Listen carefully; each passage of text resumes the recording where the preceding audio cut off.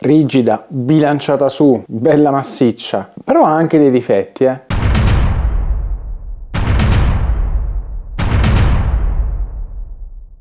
Ciao ragazzi e bentornati ad un nuovo video qui sul mio canale. Oggi siamo con una delle racchette più particolari del mercato, una delle più tecniche in assoluto e parliamo di Varlion Born Summon Prisma nella versione 2023, ovvero con il sistema Airflow. Cosa ha fatto Varlion? Molto semplicemente ha ripreso la tecnologia che aveva applicato sulle sue radio, quindi il modello più elitario dal punto di vista soprattutto del costo delle tecnologie, e l'ha riportata su tutta quanta la linea Prisma Prisma, quindi dal 2023 in sostanza LV, Maxima e Born avranno il sistema Airflow di serie. Non solo, qui parliamo della versione Mike Yanguas perché è la replica della racchetta utilizzata dal campione World Padel Tour. La versione invece standard, dalla quale differisce semplicemente per la colorazione, è invece proposta in verde. A mio gusto personale lei è decisamente più bella, però voi nei commenti fatemi sapere cosa ne pensate rispetto all'estetica che è molto personale, sicuramente lei sarà un po' poco più apprezzata rispetto al modello standard. E visto che parliamo di estetica, come potete vedere, Born si è un po' scurita, si è un po' brunita perché abbandona il giallo fluo, adesso c'è questa sorta di color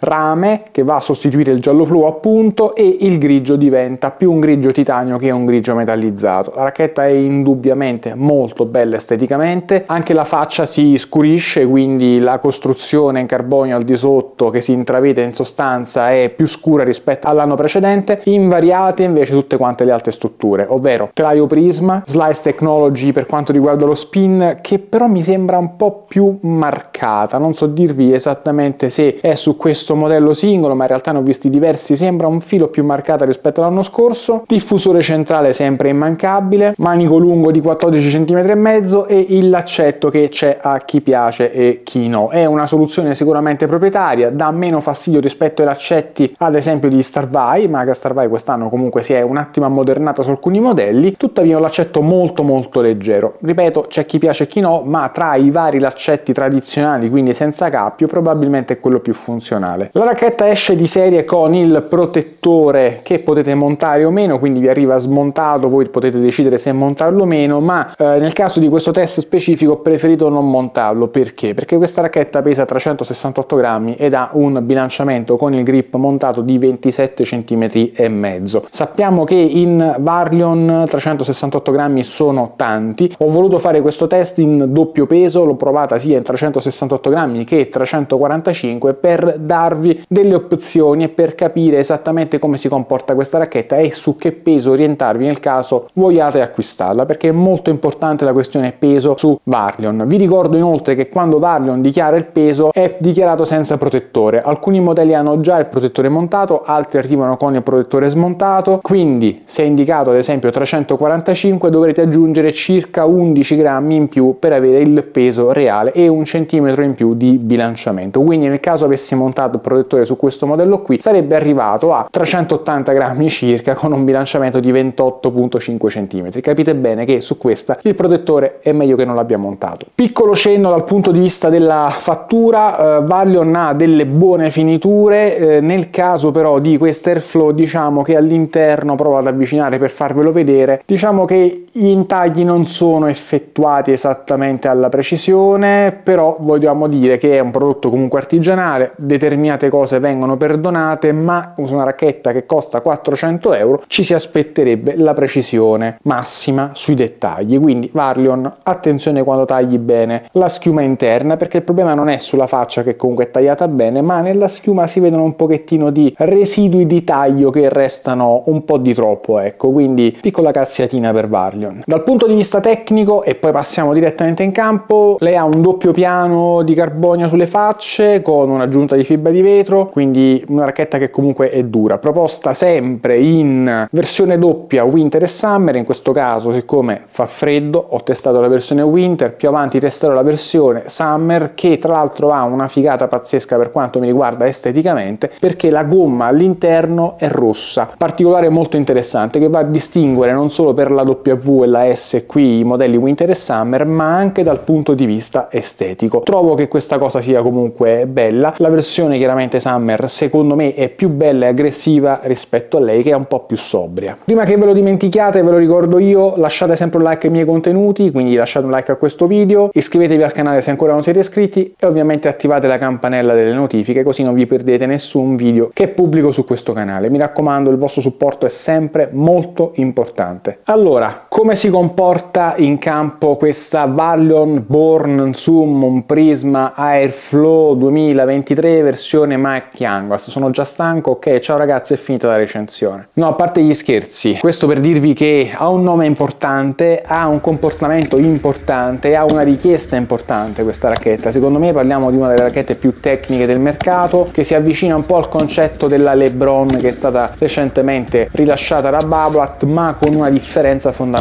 Lei è una dura, una dura in tutti i sensi, anche nella versione Winter. Non è medio dura, non è una medium hard, è una hard, anche nella versione Winter. Semplicemente il nucleo Winter serve a lavorare un po' meglio nei mesi invernali e autunnali, quando diciamo la temperatura non concede al nucleo un buon lavoro. Questa è la realtà dei fatti. Si può prendere una Summer in inverno? Mm, se giocate al coperto tendenzialmente sì. Se giocate in luoghi dove le temperature, Valion dice 25 gradi, non sono così basse o comunque giocate quasi sempre in condizioni di sole e così via, si può azzardare la S, la Summer direttamente sulla Winter, anche diciamo nei mesi invernali, sapendo che se vi dovesse capitare più umidità, più freddo, è veramente dura. Per capirci, i pro che utilizzano Varlion utilizzano sempre il nucleo Summer tutto l'anno e in qualsiasi condizione di gioco. Ma loro sono pro, noi no. Fatta questa premessa, l'abbiamo detto, è tosta, è una racchetta a diamante, è una racchetta che ha un punto dolce piccolo, è una racchetta rigida e ha anche dei difetti, come ho detto nell'intro. Questo perché? Perché è chiaro che una racchetta del genere, quando ci vai a giocare e ti trovi sulla rete, è chiaramente una racchetta che ti fa sentire il padrone del mondo, perché è una racchetta che spinge, è una racchetta che spinge forte la palla, con la finitura slice, diciamo, riesce a dare anche un buono spin, è uno spin tecnico però ragazzi, non parliamo di una grippatura come ad esempio la LeBron che prende sempre, qui è uno spin che va dato in maniera tecnica, quindi ti punisce un po' se non la sai adoperare per davvero. È una racchetta da giocatore assolutamente avanzato, avanzato che si allena, avanzato che ha una buona tecnica, è un avanzato che tendenzialmente gioca molto più sulla rete e che non teme troppo la difesa con una racchetta dal punto dolce che tanto dolce non è. Non impossibile, mettiamola così, però ti rendi conto che quando ci giochi dal fondo è una racchetta che ti concede poco, che ti concede comunque poco tempo per impattare la palla e quindi devi essere preciso e sul pezzo.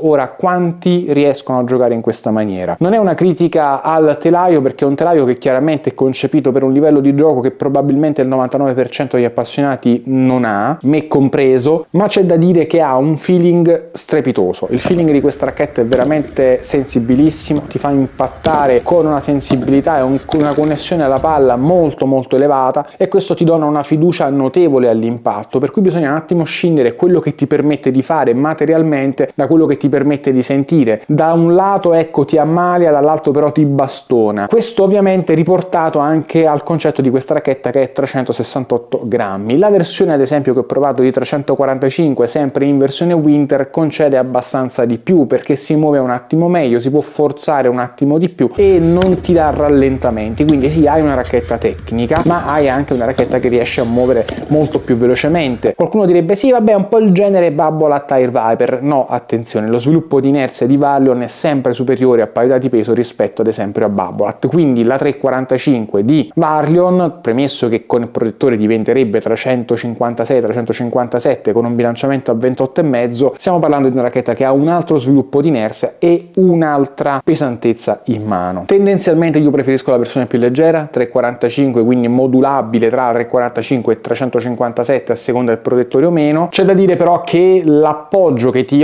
offre la versione più pesante è sicuramente notevole, quindi quando scegliete una Varion in generale dovete anche capire cosa vi serve. I 368 di questa racchetta equivalgono ai 368 di altre racchette? No, perché paragonata a lei ad esempio una H di 368 grammi io la sento maneggevole, paragonata ad una M27 Race, la racchetta che io adopero al momento, l'M27 Race a confronto è un fuscello, è leggerissima, anzi ho, potuto, ho avuto modo di testarle anche insieme e la differenza è assoluta, non sono quei 5 grammi a fare la differenza, c'è un bilanciamento, c'è un'altra inerzia, c'è, c'è proprio un, un, concetto diverso. E parliamo sempre di palle di alto livello, ma allora perché questa differenza? La differenza è perché Varion con questa racchetta produce una racchetta di alta gamma, un alto rango destinata a giocatori di altissimo livello che vogliono qualcosa di altamente aggressivo, che sia potente, reattivo all'impatto, comunicativo e che un punto dolce piccolo non sia un grosso problema. Ora però voglio dire una cosa perché rispetto allo scorso anno il sistema Airflow che rispetto allo scorso anno va ad aprire un po' lo sweet spot di questa racchetta da un lato apre il punto dolce in termini di dimensione dall'altro lo abbassa leggermente perché consente quindi un lavoro maggiore delle facce un po' in generale quindi rispetto alla versione dello scorso anno l'ho trovata un attimo più utilizzabile. Parliamo però di un poco più utilizzabile, non tanto, attenzione ragazzi, non è che poi la comprate e ve la prendete con me che la racchetta non è tollerante, perché lei non è tollerante. Diciamo che questa apertura dello sweet spot con il sistema Airflow, oltre a renderla in teoria più fluida nel passaggio in aria, cosa che in realtà non ho notato particolarmente, ho notato invece che va a dare un pizzico di punto dolce in più e un filo più basso, cosa che la rende più giocabile perché l'anno scorso ragazzi il punto dolce qui era altissimo. Detto ciò, lei dal fondo è difficile, è sicuramente una racchetta che ti dà poco tempo per impattare, però impatta forte, è potente, riesce a darti molto, ha una richiesta di ingresso perché chiaramente impattando in maniera blanda non è una racchetta che restituisce molto, è una racchetta che va spinta, va sollecitato il nucleo, va fatto lavorare il nucleo e allora lei risponde con sostanza, con sensazione e un discreto controllo. Il controllo non è il suo forte. Qui diciamo quello che viene fuori è sicuramente la potenza e lo spin. Trovato miglioramento rispetto all'anno scorso, soprattutto sullo spin. Mi è piaciuta di più per come rende lo spin, probabilmente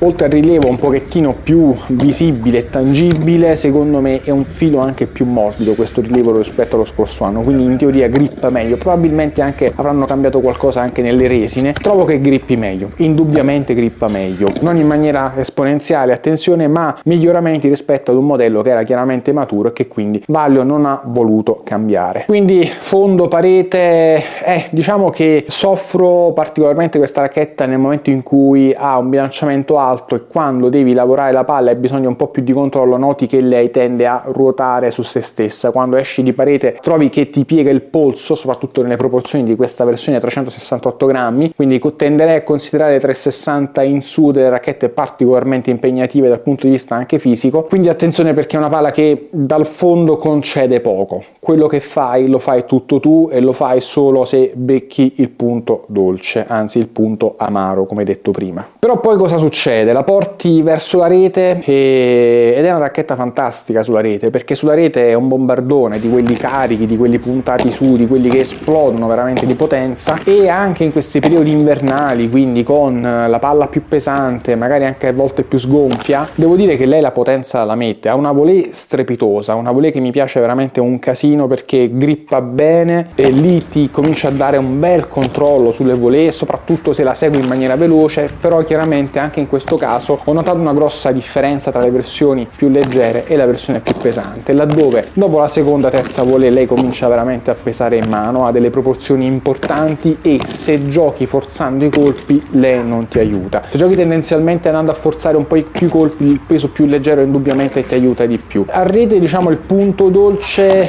eh, sembra quasi essere accondiscendente, sarà che comunque mi trovo con un punto dolce leggermente più alto provenendo io dal tennis, però in generale devo dire che a la trovo molto calzante, pesante, a volte puntata troppo in testa anche lì che ti aiuta, sì, su determinati colpi al volo, però la maneggevolezza e la rotazione talvolta, diciamo, della racchetta intorno all'asse del bilanciamento ti porta a doverla correggere un po', ecco, ti chiude parecchio il polso. Questa è una cosa che alle volte è un po' noiosa e un po' da gestire, ecco, non è immediatissima nel modo in cui va gestita in aria, però ti rendi conto che tra feeling, potenza e buono spin, comunque sulla rete ragazzi, questa è un portento. Born la rete se la mangia a colazione. Vibora bella, veramente bella, perché lei esplode di potenza, veramente sa esplodere in maniera molto molto forte, bisogna controllarla perché quando ingrana, ingrana e bisogna saperle, saperle dare il controllo di cui necessita. Un po' più in difficoltà sulla bandega perché ripeto sui colpi di più di controllo è una racchetta che comunque ha un punto dolce piccolino, una reattività elevata, sicuramente è più una racchetta aggressiva che di contenimento e di costruzione, mettiamola così. Però un braccio esperto, ragazzi, ci tira fuori abbastanza. Un braccio, diciamo, che ha bisogno di un, sempre un po' di aiuto e sostanzialmente il 99% dei giocatori di padel hanno bisogno di aiuto, probabilmente avranno un po' di difficoltà a gestirla al 100%.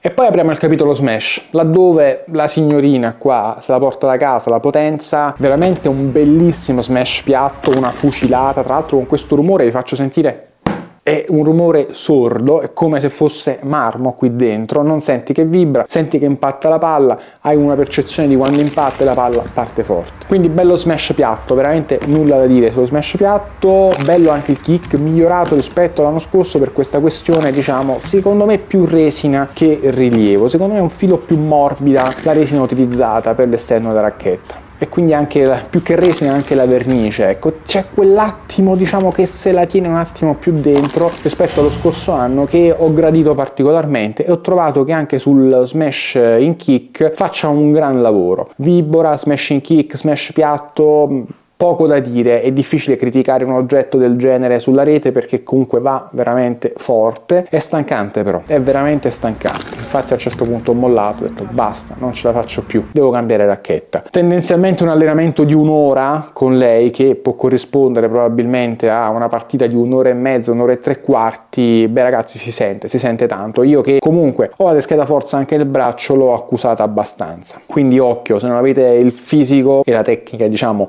deve essere base, di base, questa vi bastona dal primo all'ultimo momento. Allora, vediamo un attimo perché comprarla e perché no. La comprerei perché è un oggetto bellissimo, la comprerei perché comunque è una racchetta potente se sollecitata, quindi per un giocatore aggressivo, per un giocatore soprattutto di sinistra, per un giocatore soprattutto di rete, che dal fondo non ha particolari problemi in difesa o in costruzione. La comprerei perché è una racchetta comunque aggressiva, trasferisce però molto molto molto bene e ci aggiungo un altro molto l'impatto con la palla, molto sensibile, molto connessa ai colpi, veramente ammalia da questo punto di vista. Non la comprerei perché è difficile, perché è sfiancante, perché alla lunga ti rendi conto che anche presa nelle versioni più leggere ti richiede un'attenzione tecnica e fisica per arrivare sui colpi e per giocare bene ogni colpo che diventa pesante, che diventa faticosa, per cui è una racchetta ragazzi che vi consiglio solo se state bene fisicamente ed anche tecnicamente, solo avanzati e solo avanzati che si allenano tecnicamente a padel. Non la comprerei perché costa un botto, ma Valion ci ha abituato già precedentemente a prezzi così alti. D'altronde è un progetto comunque handmade in Spain e si fa pagare. Però Caravaglion è vero che ti fai pagare, ma qualche finitura io la aggiusterei perché per 400 euro io la racchetta la voglio perfetta. Bene ragazzi, lei è disponibile presso il mio partner padelguru.it dove avete il mio codice sconto del 5% che potete utilizzare quando volete su qualsiasi prodotto presente nello shop. Per quanto riguarda me ragazzi vi ricordo iscrivetevi al canale, seguitemi su Instagram, lasciate un like sempre ai miei contenuti che sia su Instagram che qui su YouTube ed è fondamentale che lo facciate perché è il modo migliore per aiutarmi, è gratuito, non vi costa nulla e vi ringrazio sempre per il vostro supporto che è fondamentale. Ciao ragazzi,